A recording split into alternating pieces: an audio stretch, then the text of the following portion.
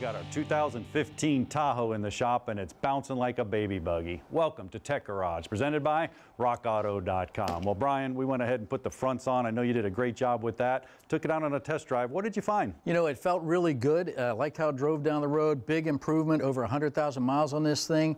But the rear with the jounce test said, I still want to be replaced. So we got to get those rears swapped out too. Yeah, you know, before you do that, this is a magneto rheological, even though I could say that word. That's a lot of syllables. Ride. We'll call it Magna Ride from now on out. But your fronts, you got a couple demos there. Tell us about the fronts. Not so easy to do. Eh, it wasn't so easy to do. There's a tremendous amount of technology at every corner of this vehicle, air, magnetics, all that. There's a wiring harness up here. We had to wrestle our way through that, but we got it out, got it replaced. I feel really good about that. The one question I have before you get into all this technology today is why would you bring your makeup to the table? Yeah, that's very expensive makeup, man. That's the MR fluid. We'll get that in a minute. But I'll tell you what, you get to work on the rear shocks and I'll actually show you how the system works.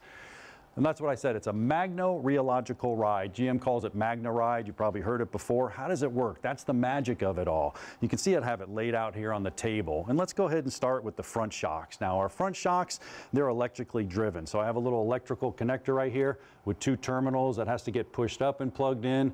Well, once that's plugged in, you have a computer right here that's sensing it, and we'll look at that in a minute. Now on the rears, I actually have air shocks right here. These are air shocks, and they're driven by this air pump that's in the rear of the system. So as the air pump starts to drive it, it's going to lift it up or down as it goes. Now, how does it work? Well, you have these sensors right here. You actually have a front sensor. Now, the front sensor rides up and down and it tells the height of the vehicle. If it starts to go really fast, well, it knows it can do with the shocks I'm going to show you here in a second. The rear one's located right here. Once again, I want to know the height in the rear when I'm hitting bumps. What's going on?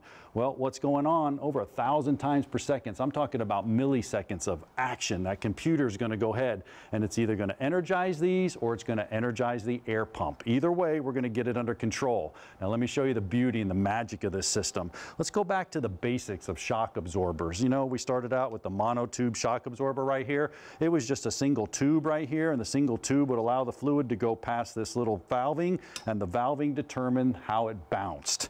These things control spring oscillations. Now here's another one right here. This is a gas shock. Now what makes it a gas shock? Well, there's a gas chamber right here. This gas chamber holds pressure on the liquid so you don't get any aeration in the system when it's going really fast. Now speaking of going really fast, let's look at our MagnaRide system, our Magno Rheological Ride. This is pretty cool because I got it right here. This is the one that Brian took off the front of the car. You can see it leaked out all the fluid. Well, he asked about my makeup a little bit earlier. That big old blob is what was left in there. Once all the oil was out, that's all there was. There's supposed to be fluid in there. Now look inside of here. This is pretty cool. You got the wires feeding down to these magnets in here. What do we do? Well, we energize it or de-energize it. We energize it, we make the fluid real thick, real viscous. It's harder to go through these chambers and it makes the ride very stiff. Once again, if I take it and I take the magnetism away from it, well, the fluid's going to become real thin and it's easy to flow through so you can get more of a bounce in the vehicle.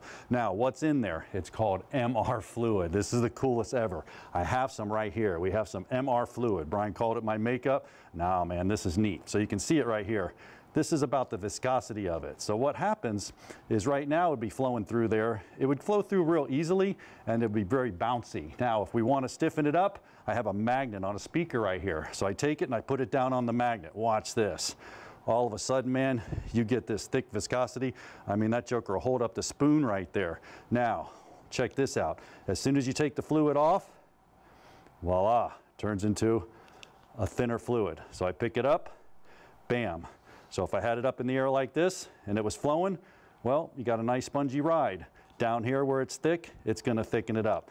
Does it in a thousand times per second, mind you, it's watching that thing bounce. Well, speaking of bouncing,